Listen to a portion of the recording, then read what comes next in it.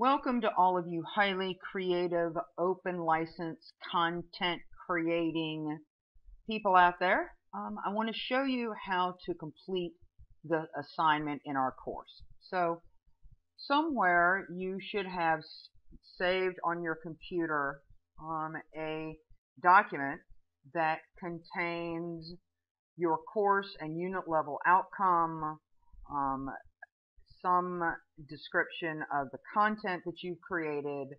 You've selected your license from the license chooser.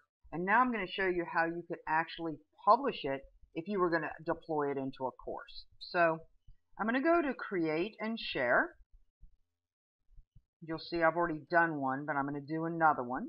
And what I want to do now is I want to build content and I want to build a new item. So I'm going to put here that this is, um, for me, I'm going to put down Linda Williams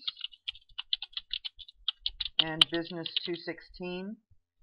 For the purpose of this assignment, it that's just going to let us know what who submitted it and what course it's for. If it was in your course, obviously, you would have put eating worms or how to slay a dragon as the content information for your students.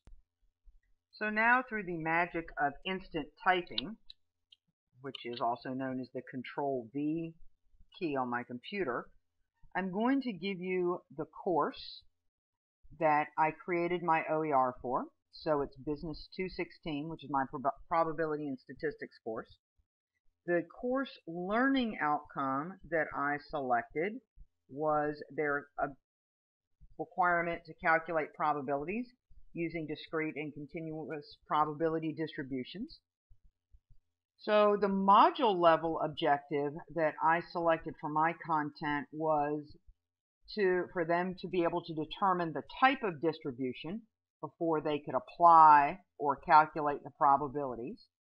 And then a brief description of the OER content that I created. So what I created as I click around here aimlessly was a flowchart that allowed students to determine whether the distribution was discrete or continuous. I know someone within the sound of my voice is having bad flashbacks to a statistics course, so sorry about that.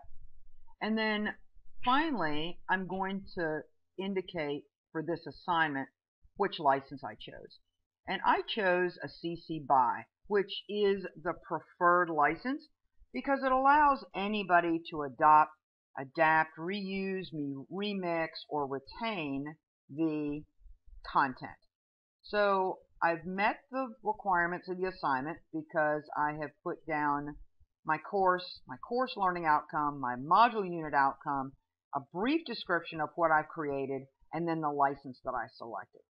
So the last thing I need to do is I need to attach my content.